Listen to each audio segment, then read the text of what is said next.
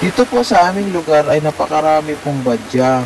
At sadya naman po napakaganda nito sa garden. Ang kanyang mga dahon ay malalago. Sobrang ganda po pang dekorasyon. O ilagay sa paso para hindi lumaki. Gawing bonsai.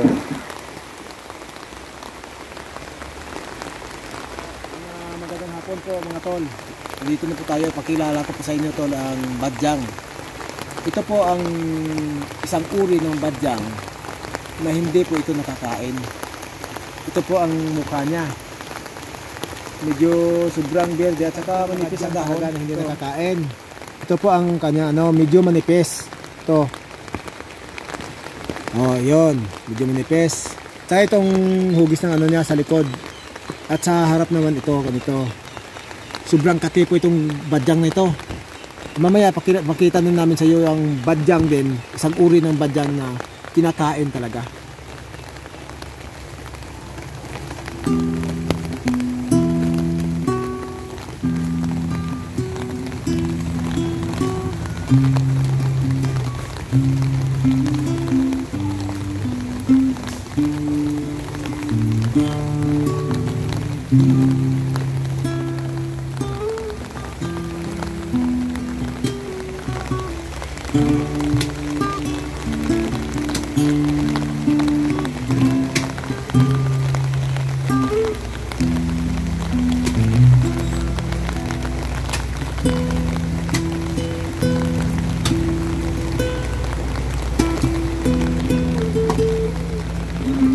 Ah, ito na po mga tol. Yung kanina tinitingnan natin kanina yung badyang na isang klase. Isa din itong badyang din, uri ng badyang pero kaso lang iba ang dahon nito. Kaya sa tignan mo ito, ito ang hugis niya. oh. Makinis at saka yung ano niya parang medyo makapal-kapal ng kunti at matibay. Oh. Ganito ang sa likod oh. Iba siya makinis. Yung kanina parang ma, ma- ano, makapal siya at saka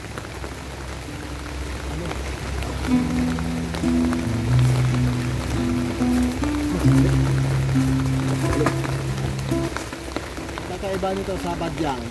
Ang badyang yung nakita nyo kanina yung hindi na kinakain. Ang baba ang ano niya, mababa lang ang tangkay. Pero ito mataas. Yan. Mataas ang tangkay. Ay badyang na kanina mataas yan pero may ang laman niya iba kaysa dito. Oh. Tsaka matibay ang mga tangkay oh, matibay. Hmm. At saka hindi makati. Ito yung dahon niya oh. Oh, ito. Matibay ang dahon, makinis. At ito na po ito. Ito na po ang itong badyang na ito ay pinapangalanan po namin pau. Ito ay napakasarap itong talbos. Masarap po ito. Ito talbos niya oh. Kunin natin mamaya to para eh gulay. Ito, kunin natin to para i-gulay. Sige.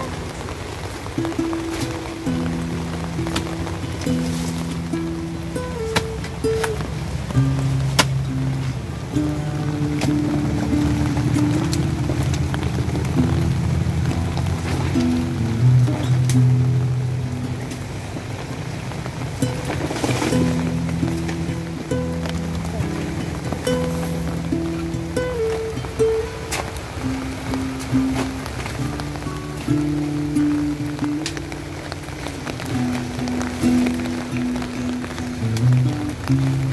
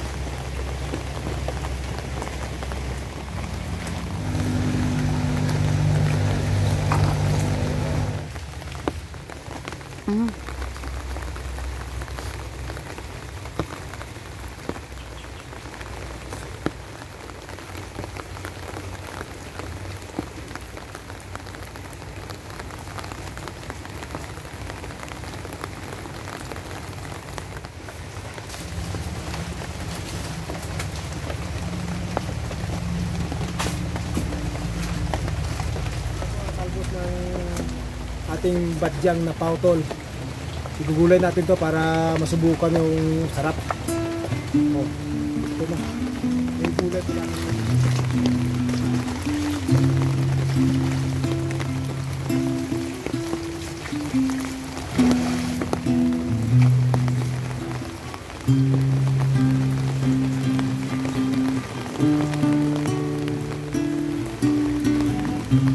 Ito po tol, ang badyang nakuha natin yung pau. Ito po ang talbos niya, yung ubod niya ay nagugulay po to, masarap po ito gulayin. Tapos itong laman, ilaga natin, luto natin para makita nyo ah, kung anong resulta. Masarap to. Ano niya, ubod. yung ano niya, ng talbos. Ito po, ito po tol, yung binibideo namin, hindi po kami nagbibideo ng mga bagay-bagay katulad dito na hindi nakanakain. Yung amin binibideo namin talaga yung nakakain talaga, yung nakakatulong sa kapwa natin mga, mga mamahirap.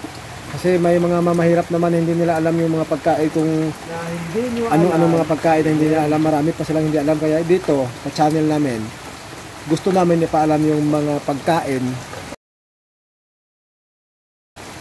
At dito nyo malalaman, sa subaybayan nyo lang po ang channel namin. Makikita nyo lahat ng pagkain na mga organic food dito sa channel namin. Bajang. Pau. Babalatan natin. Para ilaga na natin.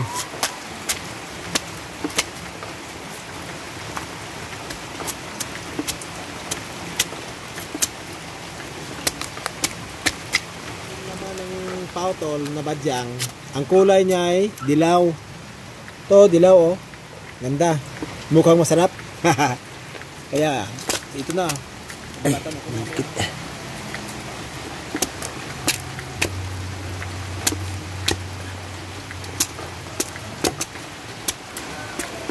Kahit na hindi ka nakakain ng ano tol, kanin, basta mayroon kanin. At saka yung talbos niya, igugulay natin kasi may vitamin A at D ito. Ah, rich in iron. Kaya masarap.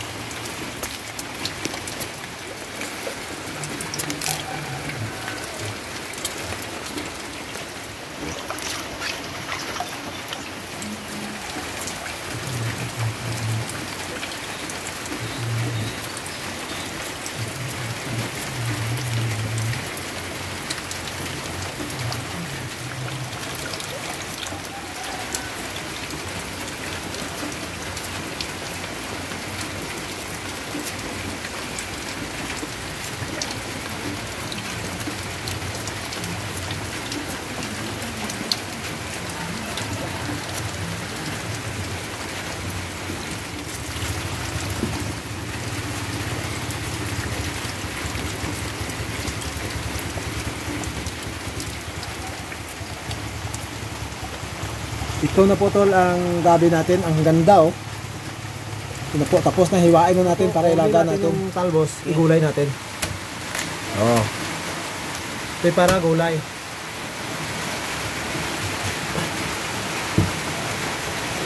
Ang laman.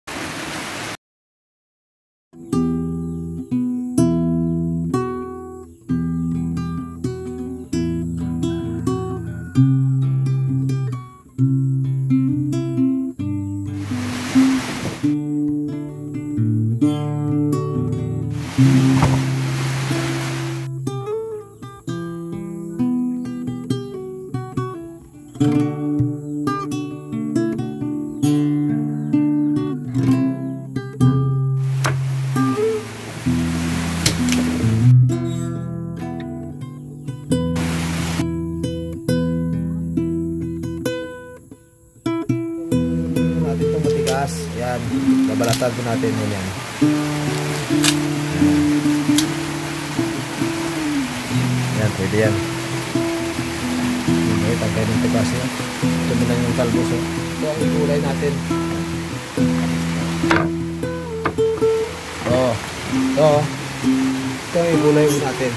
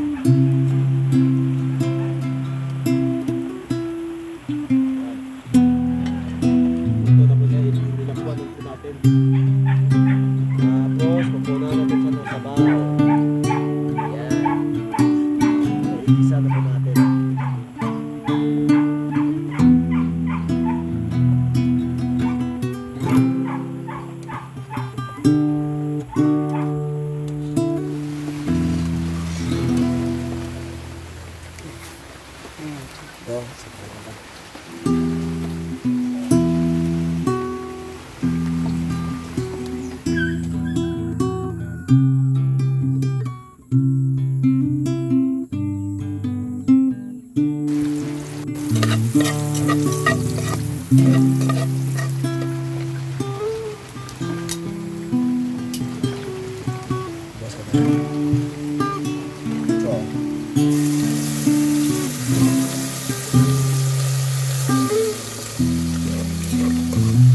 Ha ha ha.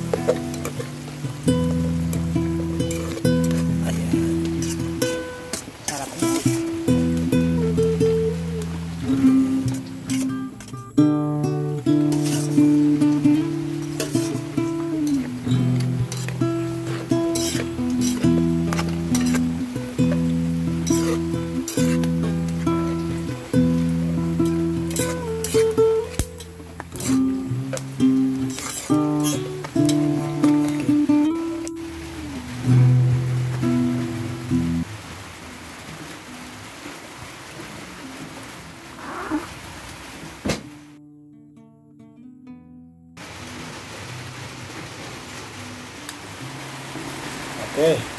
Kain na po tayo. Tignan na po po to. Kainin na po. Ito na, kainin na. Lord. Kainin na natin yung Jesus' natin. Amen. Mm. Mm, ang sarap. Mm. Ang sarap po ng talbos ng ano, pau.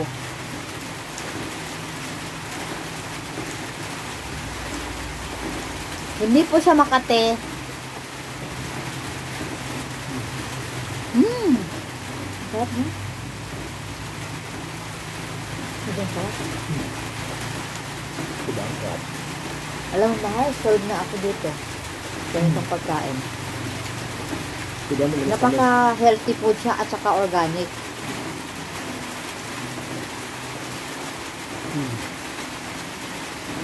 Malinis kami. Kahit hindi na po kayo magkanin, Pag na kayo kakain ng kanin, okay na. sarap. Kasi busog ka na. Mm-mm. Sarap pa. Ano pang masarap ihalo dito? Yung Pwede rin po siya haluan ng itlog. Pwede. Sarap din. Pwede. Pwede rin po ipaksiw. Mm. Depende po sa inyo. Sa amin po may sardinas. Kahit anong luto, basta gusto mo. First night po namin, nakababalik lang po na ang bahay. Bahay ng kapatid ni Alan. Kaya medyo, ano pa po, medyo magulo. Paggabi lang po kami dumating. Dito po naman sa Agusan kami mag ah, hanap po ng mga pagkain po ng organic. Wala.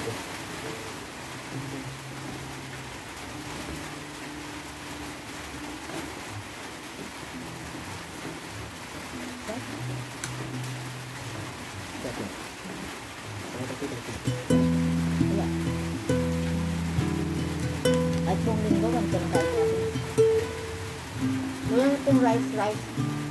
Ang sarap po ako.